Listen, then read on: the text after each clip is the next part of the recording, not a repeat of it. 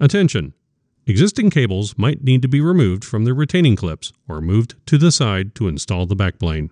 Align the backplane with its location in the tray, and then insert the backplane and push it down until it is fully seated by pressing down on the blue touch points.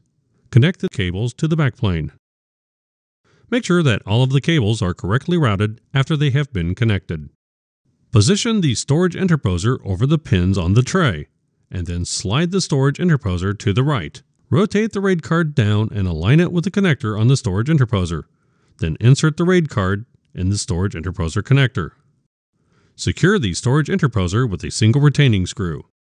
Connect the power and data cables to the storage interposer. Install the lower fan cage. If you have removed an upper compute system board or compute system board filler, install it.